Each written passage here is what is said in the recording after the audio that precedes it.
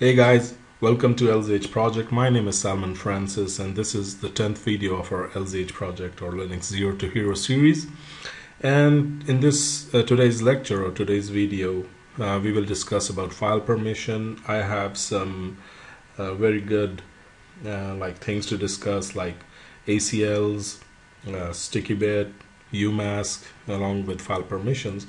And one more thing I would like to mention here is uh, that most of the time in my previous previous videos I use the word that it's live recording. What I mean is that uh, I record in a full and without any script. So that's why there are sometimes mistakes. So I would really like to apologize for anything uh, which doesn't make any sense to you.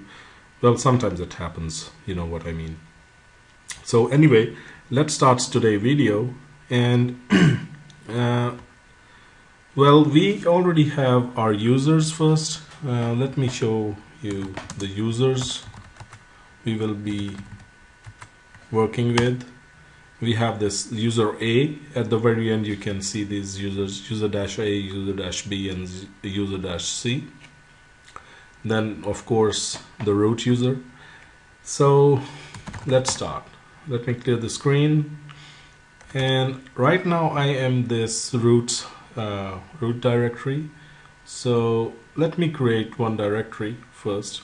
Uh, any directory or file in roots home. So to go into roots home I'll just press CD and press enter and you can see that I'm in the sign now changed from forward slash to the tilde. So it means I'm in roots home directory which we can check with pwd okay. So one thing I would like to mention here is the permissions. So permissions are, let's say we create a file, touch um, linux permissions.txt. So if I ls and you can see that we have this linux permission.txt file. To see the permissions right now, I'll type ls dash or hyphen l linux permission, press enter and you can see that I have a dash then rw dash r dash dash r dash dash. So what is this dash first? The dash denotes a file. That this is a file. R stands for read. W stands for write. And X basically X you cannot see here but uh, in I, I, can I'll show you. Anyway X stands for execute. So these are the three permissions like basic three permissions read write and execute. And if you if you uh, like uh, take a look closely you can see that there are not only three read write execute but there's read write dash read dash dash read dash dash basically the, these uh, permissions are for first user or the creator of the file or the owner of the file. Then there is G group the user uh, like the group the user belongs to or any group member and O stands for others. Like who is not the owner who doesn't belong to the group. So he's considered as, uh, as others. So that's why we means like this file has read write permission for the owner. Now we can read this file. Read write permission for the owner read permission for the group and read permission for others. And who is the owner of the group if you just uh, take a look you can see root root. This means that root is the owner of the group uh, sorry this file and root is the own uh, belongs to root group. So basically this file linux permission is created by root and he is the owner and as the owner he has permission to read and write. What if the other user tries to write to this file but first let me uh, try to write something to this file by the user root. Uh, Linux permission. Hello, this is uh, root file. Truly safe. Cat the content. And hello, this is a root file. okay, let me uh, switch to user A. Who am I? Confirms that I'm user A. Okay, let me try to cat the content of this file. Well, we have a permission denied because I'm in root's home directory and I don't have, as a normal user, I don't have permission to work in root's home directory. So let me move this file to some place where we can work. I'm going back to root. Uh, okay. Let me move this file Linux permission to OPT testing. Okay, clear the screen. Switch user to user A. Go to OPT testing. Okay. So, as a normal user, let me try to read this file. And I can read this file. But what if I would like to add something to this file?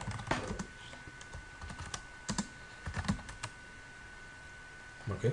You can see that I have received this message permission denied. Why? Because I have no rights to write to this file.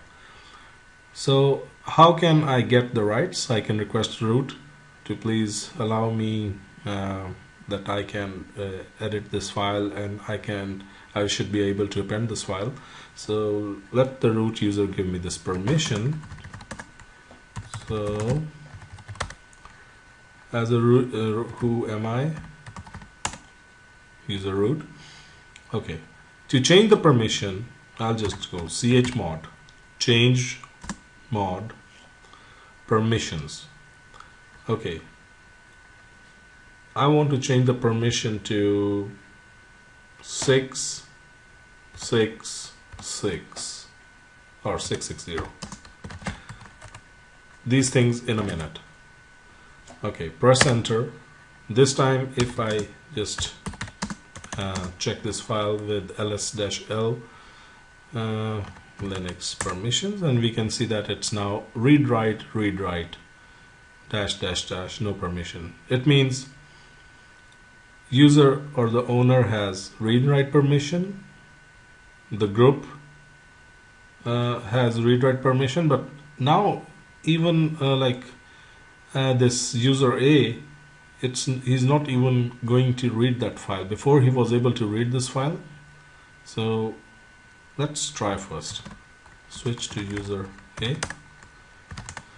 That's cat. Before he was able to cat. This time he has a permission denied okay now I'm requesting root to give me to see this file and uh, allow me to edit the file as well. Switching to user root and chmod 666 Linux permissions. Okay switching back to user A. Now if I view the content okay good. I'm able to view the content. What about if I want to append?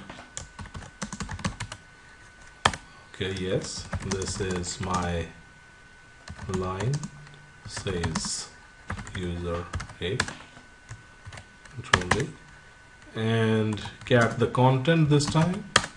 Wow. So we are able to cat the content.